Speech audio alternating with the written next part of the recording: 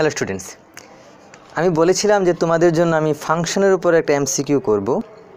ফাংশনের উপরে আমি এমসিকিউ নিয়ে আসছি তোমাদের হায়ার মেতে তো আজকে আমি এমন কিছু কথা বলব তোমাদের, অথবা এমসিকিউর এমন কিছু টেকনিক দেখাবো, যে টেকনিকগুলো তোমরা এতদিন হয়তো বা জানোনি। যদি মনে হয় যে আসলেই তোমরা আজকে নতুন কিছু শিখতে পারছ, যে আসলেই শর্টকাট কাজে লাগছে, তাহলে কমেন্ট করে জানাবা। কারণ আজকের এই লেকচারটা করতে আসলে আমার খুব কষ্ট হয়ে গেছে, কারণ কিছু আননোন টপিক ছিল যেমন ধরো লগের যে মাই ইনভার্স লগ ওইটা ওইটা একটা আনকমন টপিক ছিল, ওইটা নিয়ে আমার কাজ করা লাগছে। সুতরাং আমার এই কষ্টগুলো যদি তোমরা মানে তোমরা যদি আসলে এগুলো বুঝতে পারো, তাহলে আমার জন্য এটা সার্থক হবে। প্লাস তোমরা যদি কমেন্ট করে এটা জানাও যে আসলে কেমন হয়েছে, তাহলে আমার জন্য সেটা আসলে সার্থকতা থাকবে। ধন্যবাদ। তাহলে আমরা শুরু করি আমাদের আজকের যে উচ্চতর গণিতের ফাংশনের এমসিকিউ ওকে প্রথমে আমরা যেটা জানব, সেটা হচ্ছে আমরা কাকে ফাংশন বলি? ওকে আমরা যদি চিন্তা করি যে ফাংশন কখন হবে? ফাংশনের প্রথম শর্ত হচ্ছে আমাদের কাছে যদি দুইটা সেট থাকে, ধরো আমার কাছে এ সেট অ্যান্ড আমার কাছে বি সেট দুইটা সেট আমার কাছে আছে, তো এদের মধ্যে ফাংশন কখন হবে? যখন এ সেটের প্রত্যেকটা উপাদান বি সেটের সাথে লিঙ্ক থাকবে ওকে যেমন ধরো এ সেটের প্রত্যেকটা উপাদান বি সেটের মধ্যে তাদের এই ক্যারেক্টারটা শো করবে। এর প্রত্যেকটা উপাদান, আমি যেটা, এটাকে এ ধরলাম, এটাকে বি ধরলাম। খুবই ঠান্ডা মাথায় বুঝতে হবে এটা। এটা যদি বুঝতে পারো, তো ফাংশন কাকে বলে এটা নিয়ে তোমাদের কনফিউশন সব দূর হয়ে যাবে। আমি এটা ধরলাম এ এবং বি আমি বলছি কি এ এবং বি এর মধ্যে আমার প্রত্যেকটা কিন্তু যাইতে হবে। এ এর প্রত্যেকটা উপাদান, ধরো আমার এতে আছে ওয়ান টু থ্রি বিতে আছে ধরো ফোর ফাইভ অ্যান্ড সিক্স এর প্রত্যেকটা উপাদান যদি বি এর সাথে কানেক্টেড থাকে। ওকে তাহলে কেমন হতে পারে ব্যাপারটা? ব্যাপারটা যদি এভাবে হয়। ওকে দেখো, এর প্রত্যেকটা বিয়ের সাথে কানেক্টেড তাহলে সিম্পলি তো সূত্র মতো হয়ে গেছে যে এ এর প্রত্যেকটা উপাদান বি এর মধ্যে আমরা পাইছি একটা মানে এ এর উপাদানগুলো বি এর মধ্যে পাচ্ছি আলাদাভাবে ইউনিকভাবে পাচ্ছি। মানে এ এর সাথে বি এর একটা ইউনিক সম্পর্ক থাকবে। এখানে প্রত্যেকটা আমরা ইউনিক সম্পর্ক দেখছি। ইউনিক মানে কি? যে একক সম্পর্ক অথবা মানে ইউনিক মানে কি বলা হয়? স্বতন্ত্র ওকে তাহলে এ এ এবং বি এর মধ্যে স্বতন্ত্র সম্পর্ক থাকবে, এরকম একটা ব্যাপারটা। তাহলে এতে দেখো, এটা তো স্বতন্ত্র তার মানে এটা একটা ফাংশন আমরা এটা বুঝতে পারলাম। আমি আরও কিছু কথা বলি। যেমন ধরো, এখন তোমার সামনে আরেকটা চিত্র আসছে এমন, এটা আর এটা। এটা হলো ওয়ান টু থ্রি এটা ফোর ফাইভ অ্যান্ড সিক্স এটা আসার পর, তোমার কাছে এখন যদি মনে হয় যে এটা কি ফাংশন হবে কি না এটা এদের মধ্যে সম্পর্কটা কেমন? দেখো তোমাকে বলি যে এটা এরকম এরকম ওকে তারপর এটা হচ্ছে এরকম, এটা এরকম। এই চিত্রটা দেখার পর তোমার কাছে কী মনে হচ্ছে যে এরা তো সবাই সবার সাথে লিঙ্ক আছে, তাহলে এটা কি ফাংশন হবে? এটা বোঝার জন্যই আমরা চলে যাব আরেকটা রুলসে সেটা হচ্ছে পিতা এবং পুত্রের রুলস আমরা যদি চিন্তা করি, এটা হচ্ছে পুত্র, এটা পুত্র আর এটা হলো পিতা। এটা পুত্র এটা পিতা। ওকে তাহলে পুত্র পিতা পুত্র পিতা এই রুলসে যদি আমরা চলে যাই, এটা যদি এ ফাংশন এটা যদি বি সেট এ এবং বি সেট হয়, তাহলে দেখো তো, তাকালে এ দুইটা ঘরে গেছে। তাহলে পুত্র, একটা পুত্র, তার পিতা হলো দুইটা। দুই আর তিন, দুইটা ছেলে তাদের পিতা একটা। তার মানে এটা ঠিক আছে এই লজিকটা আমাদের পিতা একজন থাকতে পারে, তার দুইটা ছেলে থাকতে পারে। কিন্তু এমন তো হতে পারে না যে পুত্র একজন কিন্তু তার পিতা দুইটা। তাহলে এটা কি সম্ভব এটা? তার মানে তাদের মধ্যে ইউনিক ক্যারেক্টার তো আমরা পাচ্ছি না আমাদের এই মানে ইমেজের মধ্যে, ঠিক আছে? একটা ইউনিক ইমেজ যেটা দরকার, তাহলে এইটা পিতা এবং পুত্র দ্বারা বোঝাতে মানে তোমাদের বোঝানোর সুবিধার জন্য বললাম। তার মানে এটা কিন্তু আসলে রুলস মানে হচ্ছে না। তার মানে এটা কোনো ফাংশন নয়। তাহলে এখন আমরা আরেকটা ফিগার যদি দেখি যে এমন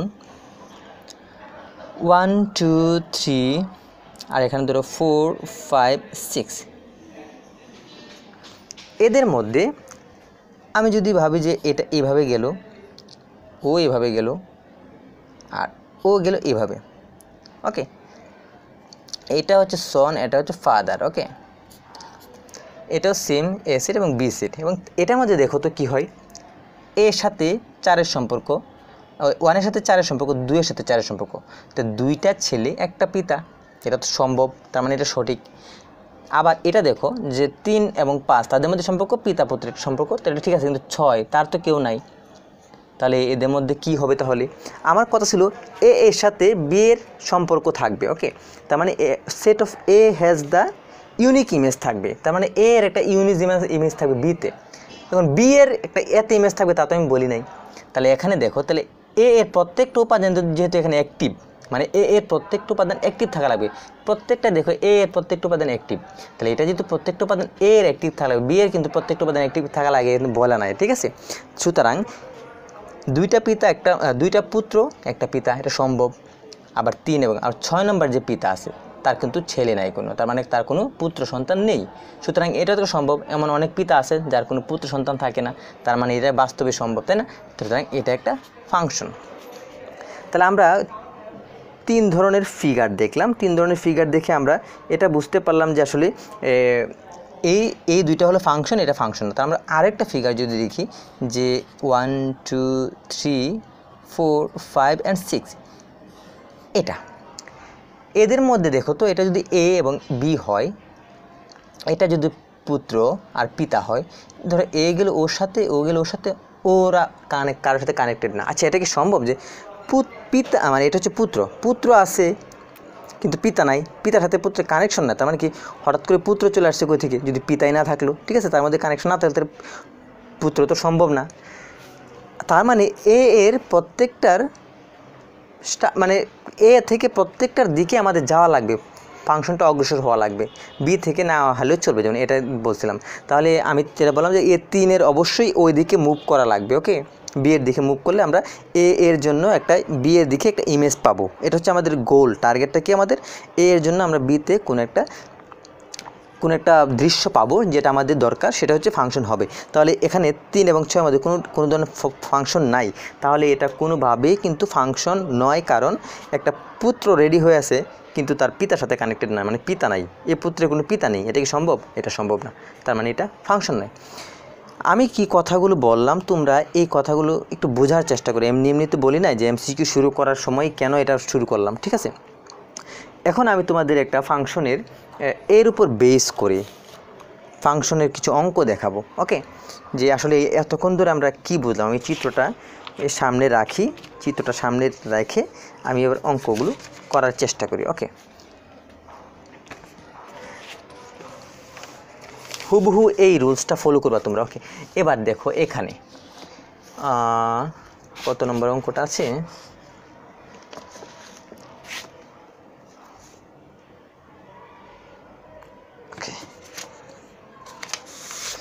এই যে দেখো, একুশ নম্বর একটা অঙ্ক দেখো। এখানে বলছে, যদি A equal to one minus one two minus two three minus two seven minus nine হয়, তবে এগুলা কি হয়? এসকে একটা ফাংশন কিনা? তাহলে আমি ওই রুলস মতে আমি দেখব এটা আসলে ফাংশন কিনা। এখানে কি কী আছে দেখো? ওয়ান মাইনাস ওয়ান ওকে তাহলে আমি ঠিক তেমনি ঘর দেই ওকে এটা হচ্ছে এ এটা বি এ তো মনে ছিল পুত্র, আর এটা ছিল পিতা। দিলাম। দিয়ে আমার এর জন্য দরকার ওয়ান এক্সের মানগুলো যেগুলো আছে, এগুলো আমরা এতে বসাবো। এক্সের মান এখানে ওয়ান আছে টু আছে থ্রি আছে এবং সেভেন আছে। তাহলে আমি এক্সের মানগুলো একবার বসা দিই। One two and three seven one two three seven আছে এখানে। One two three and seven আর যে তোমার ওয়া বি এর সেটের যে মানগুলো, আমরা ওয়াইয়ের মানগুলো ঠিক আছে? মানে ব্র্যাকেটের পরে যে মানগুলো থাকলে এটা তো এক্সের মান, এটা ওয়াইয়ের মান। ওয়াইয়ের মানটা আমরা বিতে বসাবো। এখানে মাইনাস ওয়ান আছে মাইনাস টু আছে, আর নাইন আছে। মাইনাস ওয়ান দিলাম মাইনাস টু দিলাম, আর হচ্ছে মাইনাস নাইন দিলাম এটা। এখন সম্পর্কগুলো দেখো তো কেমন হয়েছে এখানে? ওয়ান মাইনাস ওয়ান ওয়ান গিয়ে ঠেকছে এই মাইনাস ওয়ানের সাথে, এরকম। টু মাইনাস টু টু গেছে এই মাইনাস টু এর সাথে। থ্রি মাইনাস টু থ্রি গেছে আবার এর সাথে। সেভেন মাইনাস নাইন, সেভেন গেছে ওর সাথে। দেখো তো, একটু আগে তোমাদের যে রুলসগুলো দেখালাম, এই সূত্রের মতে ওয়ান একটা নির্দিষ্ট মান আছে, সেভেনের একটা নির্দিষ্ট মান আছে, কিন্তু টু এবং থ্রি তারা দুইজন মিলে গেছে মাইনাস টু এর সাথে। তাহলে এরা এ তো পিতা, একটা পিতা তো দুইটা ছেলে থাকতেই পারে, তাই না? টু এবং থ্রি থাকতে পারে, তার মানে আমাদের এই সূত্রের মধ্যে কী বলছে? এটা একটা ফাংশন। তার মানে এই যে দেখো, এস অন্যটি একটি ফাংশন। আচ্ছা এস অন্যটি এক এক ফাংশন কিনা? আমরা এখন এক এক ফাংশন কি করে বুঝব? আমরা এক এক ফাংশন তখনই হবে যখন এ এবং বি এর একটা মানের জন্য আমরা একটা মান পাবো। One two three four five six তাদের ইউনিক মান থাকবে আলাদা আলাদা। একের জন্য এটা, ওর জন্য এটা আলাদা আলাদা মান। একটা একটা হাতে কোনো ক্রসিং কোনো সম্ভব না। ওকে তাহলে এটা দেখো যে এটা হলেই কেবলমাত্র এক এক ফাংশন হবে। তাদের মধ্যে কোনো ক্রসটা সম্ভব না। দুই পিতা, এক পিতা, এক পিতাই সেই দুই পুত্র, এক এক পিতা, এগুলো নো এগুলো হবে না। Single line okay single line মতো এটা এক এক ফাংশন হবে। তাহলে এটাতে দেখো তো, এটা কোনো সিঙ্গেল লাইন হয়েছে? এখানে সিঙ্গেল লাইন হয় নাই। তাহলে এখানে এই দুইজন পুত্র, একটা পিতা তাহলে এটা তো সিঙ্গেল লাইন নয়। তাহলে এটা কী হবে বলতো? এস অন্যটি এক এক ফাংশন এটা কি এক এক ফাংশন হবে? ন দেখো অ্যান্সারটা দেখো যে অ্যান্সারে বলছে এক এবং তিন, তার মানে দুই কিন্তু অ্যান্সার নয়। তাহলে ই এস অন্য এটা একটা এক এক ফাংশন নয়। এবার দেখো পরবর্তীতে এস এর রেঞ্জ কত? এখানে রেঞ্জ মানে কি? আমরা যেটা পরবর্তী ওয়ার মান যেটা আছে ওয়ান টু নাইন এই পার্টটা এটাকে বলা হয় রেঞ্জ এটাকে বলা হয় আমরা হচ্ছে ডোমেইন আর এটা হলো রেঞ্জ তাহলে এই যে অংশটা ওয়াইয়ের অংশগুলো যেগুলো আছে যে minus one minus two minus two আর মাইনাস নাইন তো মাইনাস টু দুইটা থাকলে আমরা তার মধ্যে থেকে দেখুন একটা নেব ওকে তাহলে মাইনাস ওয়ান মাইনাস টু এবং মাইনাস নাইন এটা হচ্ছে এর রেঞ্জ তাহলে এই যে দেখো, এই যে এটার সমাধান হয়ে গেল আমাদের এই চিত্র থেকে। খুবই মজার এই চিত্রটা ছিল। এখান থেকে দেখছ আমরা এটা সলভ করলাম। তো এখন আমি তোমাদের আরেকটা অঙ্ক দেখাবো, যে আরেকটা বোর্ডে সেম একটা অঙ্ক আসছে। ওকে এখানে দেখো যে চট্টগ্রাম বোর্ড সতেরোতে আসছে এটা S one four two one three zero four one five four বলছে কি যে এটার রেঞ্জ কত এসিটি ফাংশন আছে রেঞ্জ এটাকে শিখলাম আমরা, যে ওয়াইয়ের যে মানগুলো থাকে তাকে আমরা রেঞ্জ বলি। এটা দেখো four one zero one four তাহলে four one zero four one zero এটা। আর আর ওয়ান আছে ডাবল আর একটা ফোর আছে ডাবল তাহলে দরকার নেই, আমরা একটা সিঙ্গেল মানগুলো নেব। ফোর ওয়ান জিরো এটা হচ্ছে একটা রেঞ্জ তার মানে এক নম্বরটা সঠিক। এবার দুই নম্বরে দেখো এস ইনভার্স এস ইনভার্স মানে কি? যখন আমাদের এস ফাংশনটা আছে এসটাকে শুধুমাত্র উল্টে দেবো। যেমন ধরো ফোর ওয়ান আছে, এই ফোর ওয়ানকে আমরা লিখব ওয়ান ফোর আছে, এটাকে ফোর ওয়ান লিখব। টু ওয়ান আছে, এটাকে ওয়ান টু লিখব three zero zero three one four four five উল্টে দিলাম। এস ছিল এমন, তাকে উল্টে দিলাম। এক্সের জায়গায় ওয়াই চলে যাব ওয়াই জায়গায় এক্স চলে আসলো। দেখো ছিল ওয়ান ফোর হয়ে গেলো ফোর ওয়ান টু ওয়ান হয়ে গেলো ওয়ান টু থ্রি জিরো হয়ে গেলো জিরো থ্রি এই যে, এইভাবে এইভাবে কিন্তু উল্টে উল্টে গিয়ে আমরা একটা ইনভার্স ফাংশন পেলাম। এই যেটা এটা হচ্ছে ইনভার্স ফাংশন এবার আসে যে এস একটি ফাংশন কিনা। আমি এ যে আবার সেম কথা। এস একটি ফাংশন কিনা, এটা আমি তোমাদের এই মাত্র চিত্র দেখে বুঝাচ্ছি। তাহলে তোমরা আবার এভাবে দুইটা চিত্র নাও। এভাবে চিত্র নিয়ে এখানে আছে one two three four five এখানে আছে one two three four five এক্সের যে মানটা মানে এ সেটের মানগুলো one two three four five six four five আর বি সেটের মানগুলো আছে, তা আছে ফোর ওয়ান জিরো তাহলে আমরা সুন্দরভাবে একটা সিরিয়াল মেনটেন করলাম জিরো ওয়ান জিরো ওয়ান দিলাম, তারপর হচ্ছে ফোর জিরো ওয়ান ফোর আর কিছু আছে? জিরো ওয়ান ফোর এইটাই। তা জিরো ওয়ান ফোর হচ্ছে আমার বিতে বিতে আছে। এবার ক্রসিং করে দেখি আমি বলছি ওয়ান ফোর ওয়ান গেছে ফোরের সাথে, এমন। আবার বলছে টু ওয়ান টু গেছে এই ওয়ানের সাথে ওকে থ্রি জিরো থ্রি গেছে ওই জিরোর সাথে ফোর ওয়ান ফোর গেছে এই ওয়ানের সাথে ফাইভ ফোর ফাইভ গেছে এই ফোরের সাথে। দেখো, এই সেটের প্রত্যেকটা উপাদান অ্যাক্টিভ প্রত্যেকটাই মুভ করছে, তার মানে এটা একটা প্রথম রুলস মানছে, দ্বিতীয় রুলসে দেখি, দেখো যে এই ওয়ান গেছে ফোরে আবার ফাইভ গেছে ফোরে থ্রি গেছে জিরোতে কিন্তু এই টু গেছে ওয়ানে আবার ফোরও গেছে ওয়ানে ওরা সরি ওয়ান গেছে ফোরে আবার ফাইভ গেছে ফোরে মানে ফোরে গেছে দুইটা জিনিস। ওকে তাহলে এখানে দুইটা গেছে, এখানে দুইটা গেছে, আর এখানে গেছে একটা। তার মানে কি? এরা এই দুইজন, এই দুইটা পুত্র তাদের বাপ হচ্ছে, আর এ, এরা দুজন তাদের বাপ হচ্ছে ওয়ান আর ওদের বাপ হচ্ছে জিরো মানে পিতা। ঠিক আছে? তাদের পুত্র হচ্ছে জিরো তাহলে দেখো তো দুই দুই ছেলে, এক পিতা, এখানে দুই ছেলে, এক পিতা, আরও সিঙ্গেল থ্রি এবং জিরো সিঙ্গেল তাহলে এরা তো সব রুলস মেনে চলছে, তার মানে এটা একটা ফাংশন এই যে গেল যে আমরা এখন খুবই চমৎকার বুঝতে পারলাম কোন একটা ফাংশন আসলে কি না, সেটা বুঝতে পারলাম। আসলে ডিটেলস করে বোঝাতে গেলে অনেক টাইম লেগে যায়। একটা সিঙ্গেল একটা এমসিকিউ বোঝাতে গেলে আমাদের এত সময় লেগে যাচ্ছে। ওকে তো এবার দেখো এখানে এই যে বিশ নম্বরের প্রশ্নটা। One five two ten two twelve three fifteen and four twenty এইটাতে দেখো যে আমরা যদি বলছি ডোমেইন কত? ডোমেইন মানে কি? যে আমাদের এক্সের মানটা, প্রথমে যে মানগুলো আছে one two two three four তো দুইটা টু আছে, আমরা দুইটা টু নেব না, আমরা একটা টু নেব। তো এই জন্য ওয়ান টু থ্রি ফোর এটা ডোমেইন হচ্ছে এত। দেখো, আমরা ডোমেইন এবং রেঞ্জ অথবা কোনো একটা জিনিস ফাংশন কিনা সেটা আমরা শিখে ফেললাম। যদি আমাদের এখন পরবর্তীতে কোনো একটা অঙ্ক আসে, তাহলে আমরা পারব। তাহলে এখন আমি আরেকটা অঙ্ক দেবো। ফাইনালি এই টাইপের অঙ্ক যেটা আমাদের আরেকটা আছে ফাইনালি আরেকটা অঙ্ক দেখার দরকার আমার মনে হচ্ছে। ওকে, এটা দেখি। এখানে দেখো, এখানে বলছে যে F two minus one three minus two four minus তাহলে এফ একটি ফাংশন কিনা? আচ্ছা এটা প্রমাণ করে ফেলে আবার, তাহলে সিম্পলি আবার আমি একইভাবে লিখব, লিখে দিলাম টু এক্সের মানগুলো কত? টু থ্রি অ্যান্ড ফোর আর ওয়াইয়ের মানগুলো আছে minus one minus two and minus two minus two minus two দুবার আসতে দুবার লেখা দরকার আমরা একবার লিখব ওকে এটা হচ্ছে ওয়াইয়ের মান, তার মানে এ সেটা বি সেটা মান দেওয়া আছে, আর আমরা জানি কি হচ্ছে পুত্র আর এ হচ্ছে পিতা। নো কনফিউশন ওকে এবার আমরা দেখি কীভাবে সাজাচ্ছে তারা। টুর সাথে মাইনাস ওয়ান গেল, টু গেল মাইনাস ওয়ানের সাথে এভাবে। আবার থ্রি গেল মাইনাস টু থ্রি গেল মাইনাস টুর সাথে যাক, আবার ফোর গেল মাইনাস টুর সাথে ফোর গেল মাইনাস টুর সাথে। এরা দুজন পুত্র, পিতা ও, এ, ওর পিতা, ও। ঠিক আছে? তারা দুজন মিলে এখানে ক্রস হয়েছে। নো প্রবলেম তার মানে এটা একটা ফাংশন। আর এখানে এ এ সেটের প্রত্যেকটা উপাদান অ্যাক্টিভ আছে ওকে তাহলে এটা একটা ফাংশন। তাহলে আমরা বলতে পারি এফ একটি ফাংশন। দেখো অ্যান্সারটা যদি তাকায়, তাহলে দেখো এক এবং তিন। তাহলে এফ একটি ফাংশনের সঠিক। তা বলছি যে এফ ফাংশনটা এক এক কিনা? এটা তাকাও তো। এইটা আগে তোমরা দেখছি যে সিঙ্গেলের জন্য সিঙ্গেল মান থাকতো, তাহলে সেটা যদি এখানে ফোরের জন্য আরেকটা এখানে মান থাকতো মাইনাস থ্রি অথবা সামথিং থাকতো, তাহলে এটা এক এক ফাংশন হয়ে যেত। তো এরা দুইজন যেহেতু একটাতে ক্রস করছে ক্রসিং করলে কখনোই এক এক ফাংশন হবে না। এক এক মানে কি? একটার সাথে একটা। তাহলে এটা হচ্ছে এক এক ফাংশন নয়। এই জন্য এই জন্য দুই নম্বরটা ভুল আনসার ওকে তাহলে এফ ফাংশনের রেঞ্জ কত? রেঞ্জ মানে হচ্ছে ওয়াইয়ের মানগুলো যেগুলো আছে সেটা মানে বি সেটের যে মানগুলো minus one minus minus two যে তাহলে এফ ফাংশনের রেঞ্জ হচ্ছে মাইনাস ওয়ান মাইনাস টু এই জন্য আমাদের এটা অ্যান্সার হবে এক এবং তিন।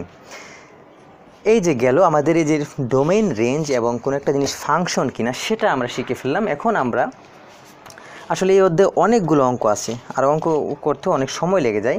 তো এখন আমি এখন তোমাদের যেটা দেখাবো, তা হচ্ছে কোনো একটা জিনিসের ডোমেইন বের করা ওকে কোনো একটা ফাংশনের ডোমেইন ভেরি ইম্পর্ট্যান্ট সব জায়গায় এটা আসে যে কী করে আমরা কোনো একটা জিনিস ডোমেইন বের করতে পারি। তাহলে চলো ডোমেইন দেখি এখন আমরা। আমরা তো অঙ্ক মুখে মুখে করব এমসিকিউ না ওইভাবে করার জিনিস না। যেমন ধরো এটা এটা ডোমেইন কোনটি? আমি প্রথমে আগে একটু অঙ্কটা বড় করে তোমাদের জন্য করে দেখাই, এটা ডোমেইনটা কি হবে? চিন্তা করো, এখানে বলছে যে F x F x equal to root over three minus x এটা। F x root over three minus x এটার ডোমেইন কোনটি নিচের? এখন আমাদের যখন এরকম একটা চিত্র আসে, তখন আমরা চিন্তা করি কি যে এর ভেতরে যে মানটা আছে, যেহেতু রুট ওভার আছে রুট ওভারের ভিতরে কখনো মাইনাস থাকে না। রুট ওভারের ভিতরে যে মানটা থাকা লাগে, সেটা অবশ্যই জিরো থাকা লাগে অথবা জিরোর চেয়ে বড় মান থাকা লাগবে, কিন্তু জিরোর চেয়ে ছোটো থাকা যাবে না, কারণ জিরো একটা পজিটিভ মান। তাহলে এটার প্রেক্ষিতে যেহেতু রুট ওভার আছে, সুতরাং এর মানে কনসেপ্টটা কি? আমি তোমাদের আগে কনসেপ্টটা আবার বোঝাই। আমার একটা লেকচার আছে ডোমেইন এবং রেঞ্জ ডোমেইন বের করার একটা লেকচার আছে।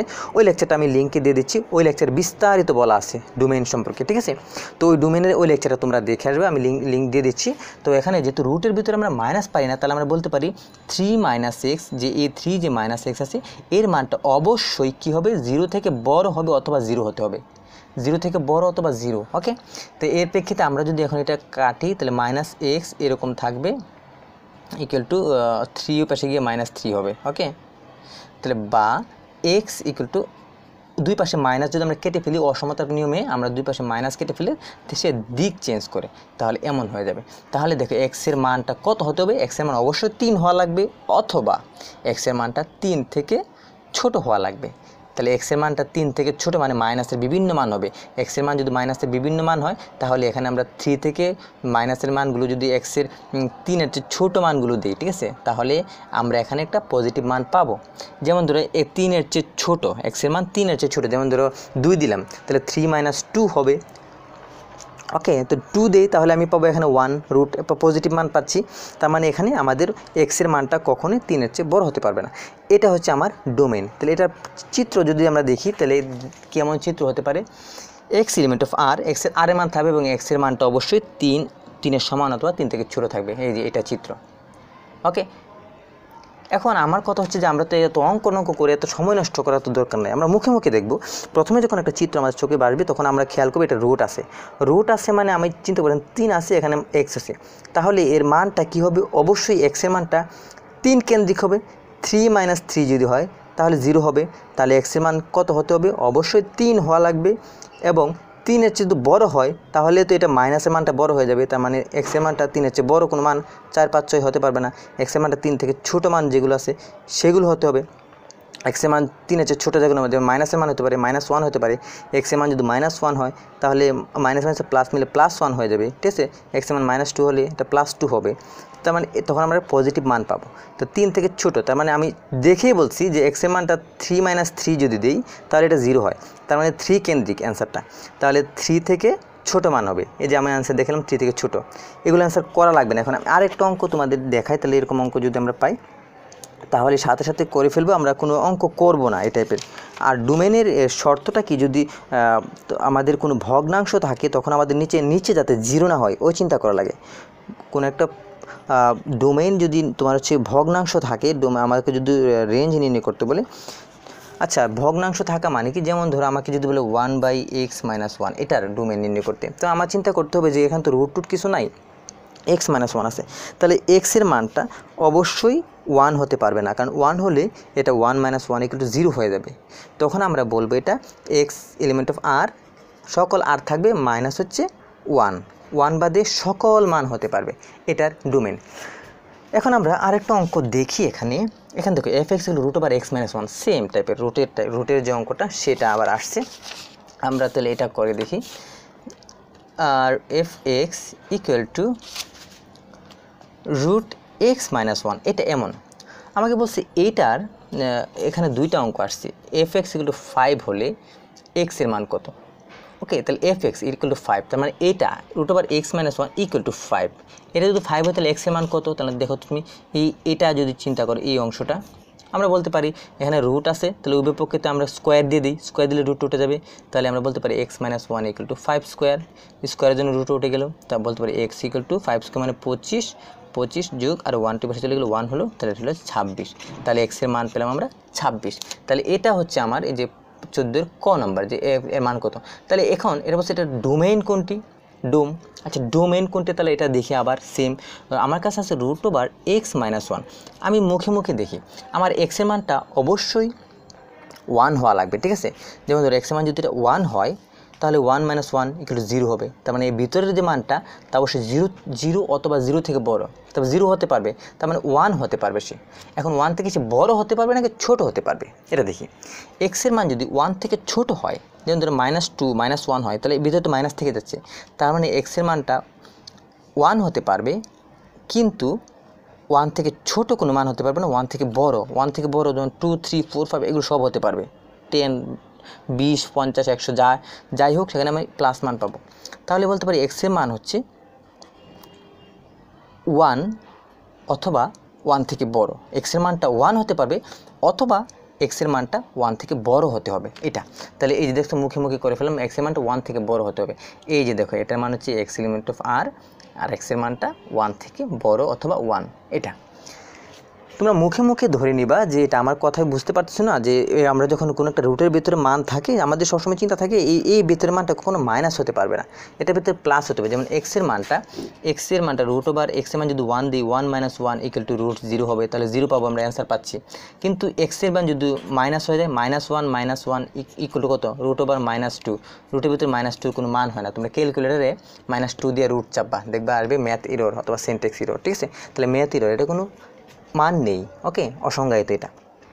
এই জন্য এটা সম্ভব নয়। এই টাইপের অঙ্ক এখন আমাদের আরও একটা রুলস থাকে। আমি তোমাকে বারবার বলছি যে আমি ডোমেন করার সময় তোমাদের ডোমেনের যে বিভিন্ন অঙ্কগুলো থাকে ওইটা আমি একটা লেকচার করেছি। তাও আমি তোমাদের আমরা আরেকটা অঙ্ক দেখি এখানে ওকে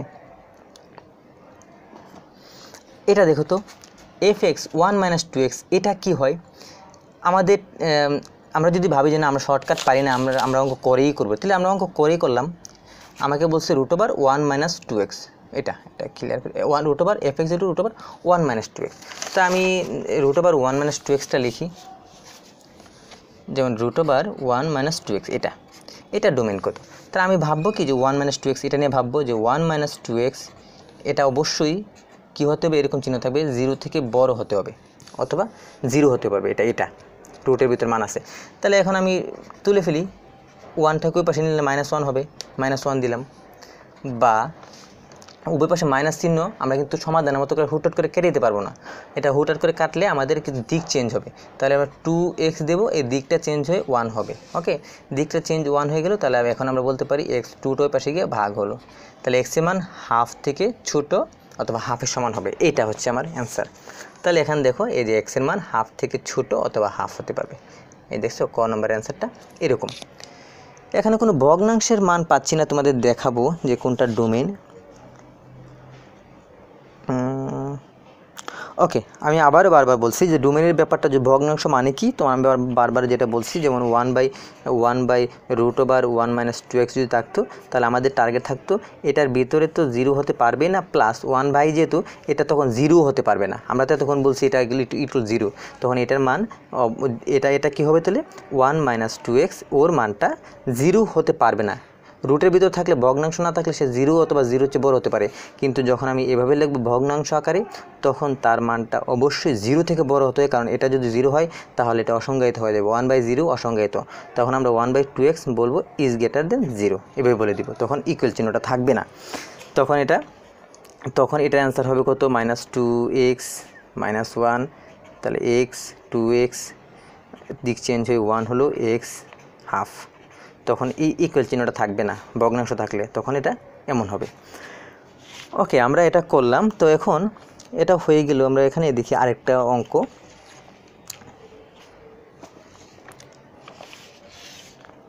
এখানে বলা আছে ইনভার্স ফাংশনের কথা বলা আছে। ওকে এখন আমরা ইনভার্স ফাংশনের ব্যাপারটা ক্লিয়ার হবে। ইনভার্স ফাংশনটা আসলে কি? দেখো যে